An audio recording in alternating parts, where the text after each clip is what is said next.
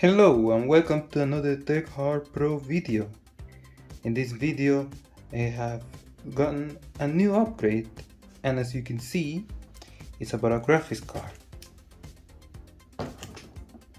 The RTX 3060. Now this is the EVGA variant, you probably have seen it many times before. I'm mostly doing this upgrade because of Blender. The 12GB of VRAM, the ray tracing, will be pretty useful for me. So we will see the performance difference between my 1660 and this current one. I got the box for the 1050 that I used to have years ago. I sold it with the computer that I had, the old build. This is the new build that I have. You probably have seen in older videos and stuff. It's just that I feel with um, very loose stickers. So I will cut into basically the benchmarks and the unboxing. Oh yeah, unboxing, of course. I would do it, it's just that I don't have the space, so I don't know where to do it. Ah yeah, I know where to do it. I'll just record where I do a voiceover.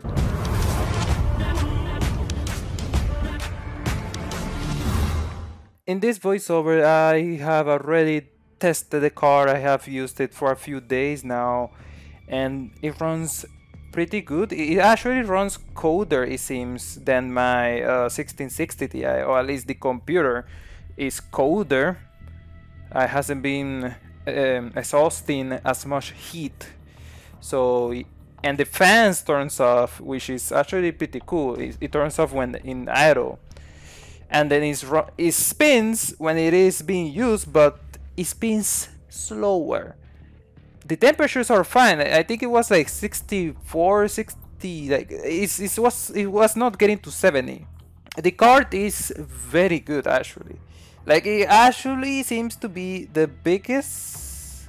Well, not the biggest upgrade, but it's the best upgrade I have gotten. It's not just, oh, better performance and that's it. No, this is like more features too, because of course, it has the RTX feature, it has ray tracing, it has the DLSS, and DLSS is way better than TAA. Like, it, run, it makes games run better, but it also, the picture quality, you don't I don't think I even noticed any dropping picture quality compared to TAA. TAA just looks blurry. DLSS in balance mode or quality mode, it just looks good or very similar to native. The current test that I did on this video, I recorded at the day that I got the card, um, are only made with the games on the same settings as I used to have in the 1660 Ti. So they may not be as much of an upgrade from that point of view, but after getting in a few days of using it, I did have a big noticeable upgrade. Now the biggest upgrade will be in Blender. My render times went lower like more than twice as fast. It renders more than twice as, as fast. Not three times, just 2.5 times, let's say. So here I will just put up the tests and uh, enjoy it.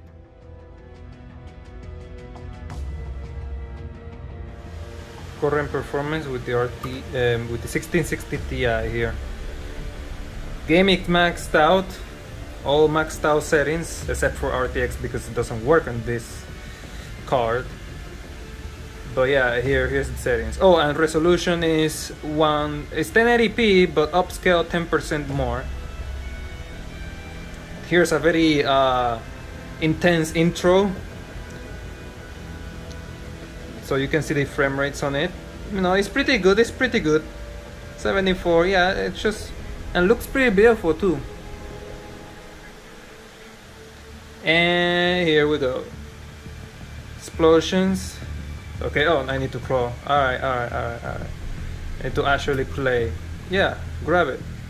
100 because looking at the sky now it's looking at the floor. Boom.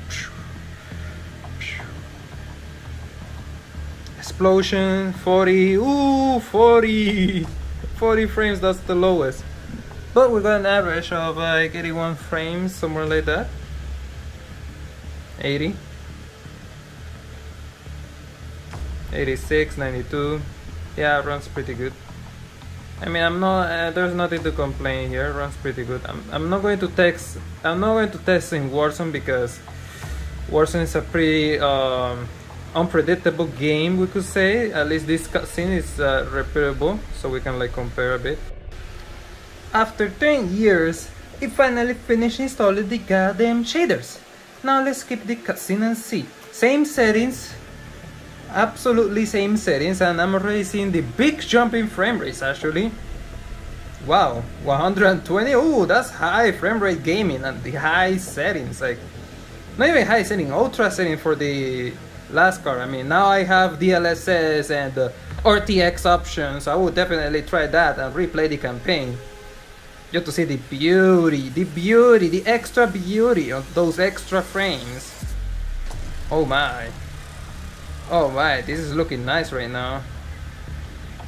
Boom. Explosion. Oh yeah, forgot. I need to crawl again. Come on, grab it. Jeez, so it's so slow. Alright. Oh wow, it's over 100. It's not even dropping less than 100. It's always over 100. Oh, 83, 79. Even then, this is high. This is high. Oh wow, that now that's an upgrade. I like this. It's not as big of an upgrade as some people would like to, but for me this is good enough. I mean, I mostly bought this car for the for Blender, but also I you know seeing this this gaming improvement is pretty good. You know, I, I get extra frames to put on something, and I get the DLSS. So imagine that. Okay. Now Need for Speed Heat. I'm just going to drive a straight line over here and go to the uh, highway. Maxed out setting as well, just ultra, but no 110% resolution, just 100% of 1080p, so it's straight up 1080p. Uh, how do I use Nitro in keyboard and mouse? I don't remember.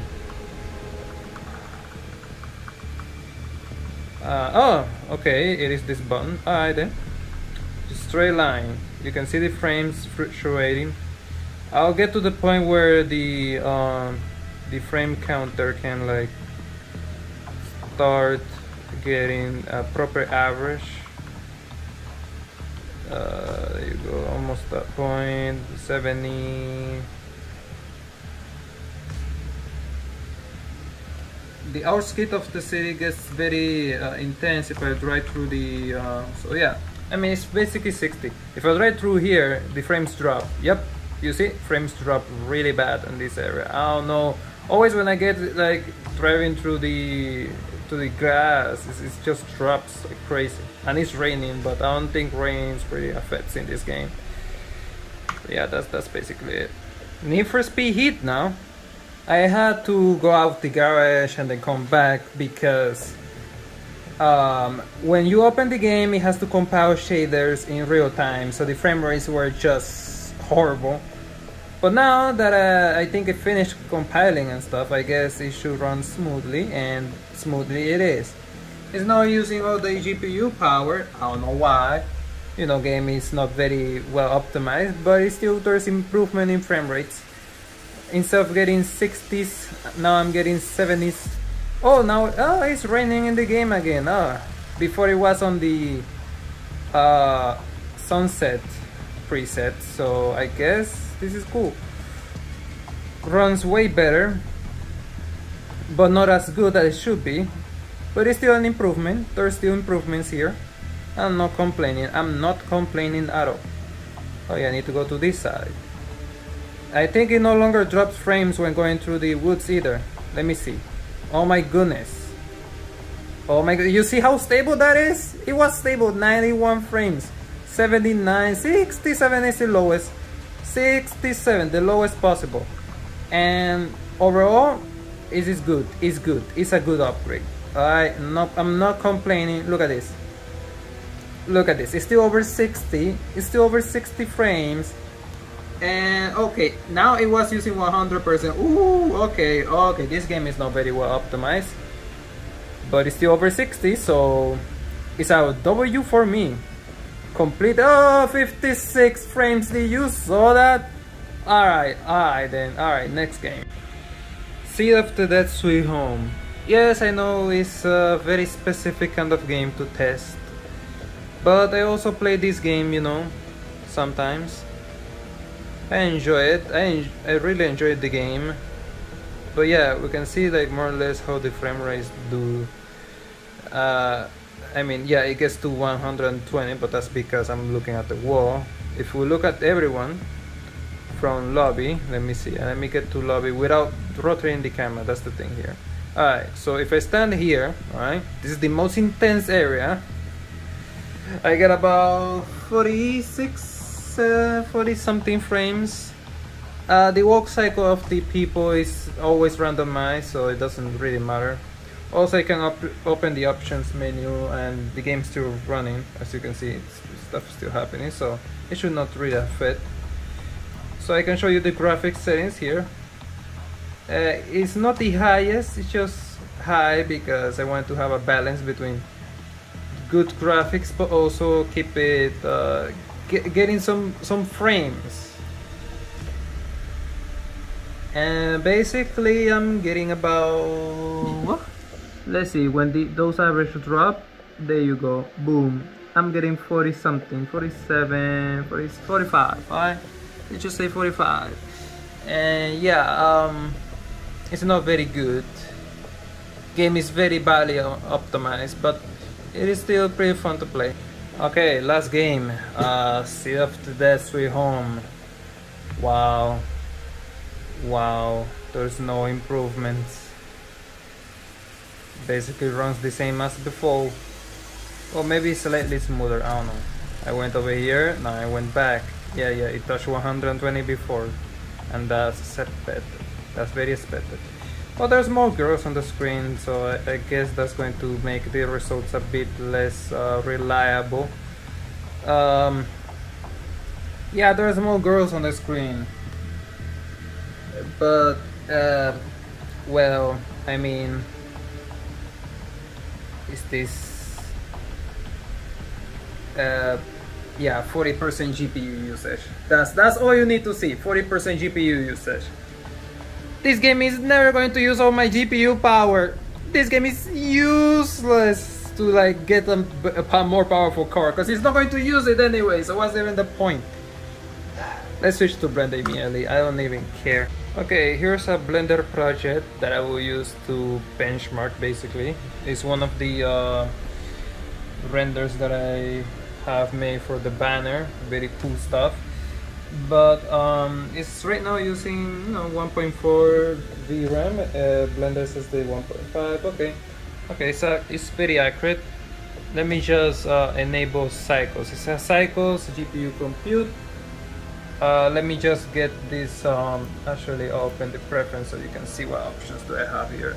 OptiX with the 1660 and the Ryzen 3600 alright let's just preview because I already did a render before so I will compare the numbers that I get. I'm just going to see how long does it take to even preview the render view Right now it's frozen because it's going to use a bunch of VRAM. Look at that number going up. Yep, yep, there you go. It's used up all the VRAM. Let me enable the overlay so we can see how many samples. Okay, 12, 16 is counting. Volumetric lighting at the bottom, that's very heavy. And I also want to know which settings do I have for the... Okay, I do have simplified disabled, so it's using all the textures at the highest quality that as they can. And it hasn't finished uh, previewing. But it's using basically all the VRAM here. Basically using 6, six gigs of VRAM and that's like crazy it's, it's a very intense uh, texture heavy scene. I don't know why. But yeah we can see here it's using quite a lot of VRAM and uh, now be switching cards so right now I have the 1660 Ti right here. I don't know if you can see. Can I zoom in? Oh man.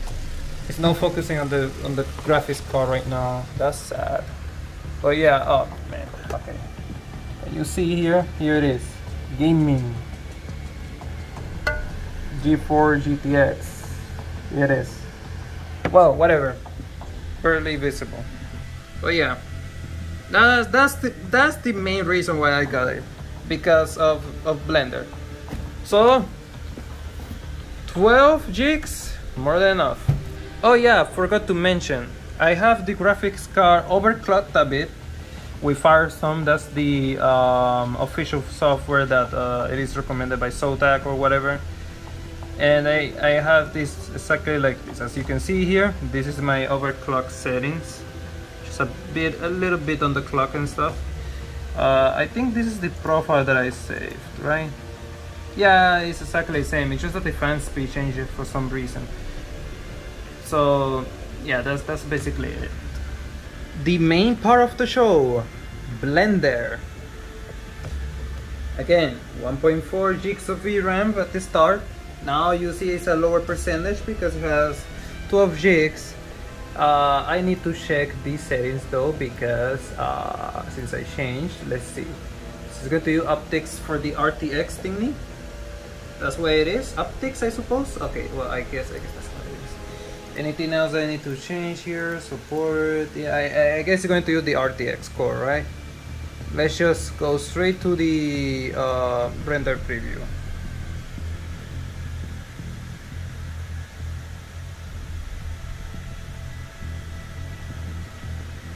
Come on. Come on blender. You you you, you take your time. There you go Oh no, oh no, I forgot about this. Well, alright, alright then. Let's. Uh, I'll, I'll pause. Okay, put the recording back on because I just noticed something. 6.4 gigs of VRAM. That would crash if it was my old GPU. But actually, you see it did not crash that time, last time because it was uh, putting the RAM uh, part of the VRAM on the system memory. Now it's not, I suppose. But uh, kernels are still loading and I'm been waiting for like few minutes now. Does it, is it going to actually take longer than Modern Warfare installing shaders, huh? Huh? Is it really going to take longer? Alright, then I'll, I'll pause. Alright, there you go, finish. Holy moly. Okay, just so it just go flying, flying. Look at this, it's flying. Basically flying. Uh, yeah, uh, looks like. Oh, wow. Oh, oh, oh, okay. Oh, oh, okay, okay, okay, okay. Let's actually render then. If you if you want to be this fast, let's actually render in real time. Let's see. Let's see. Now I loaded the the kernels and stuff, so it shouldn't take long to just start a render. We already had a preview. Hi guys, the resource store in uh, almost 11 minutes to render this. 124 samples at 4k 120% more resolution. I let's compare let's compare. This is the numbers that I took screenshot of. Okay RTX 3060 1660 Ti. 3060 1660 11 minutes half an hour. You, bro, this is a big ass difference for me. Look, are you kidding? Like, look at this. It's a big difference. Big, big. Here it is installed now. Um, one little detail is that the PCIe cable, power cable, it has to go the opposite direction. So um, it's going to look not very elegant if you have your cable router and stuff. For me I don't really care. As long as it is properly installed I mean it's not a big deal. I mean look I did some cable management uh, before so it, it doesn't look that bad here.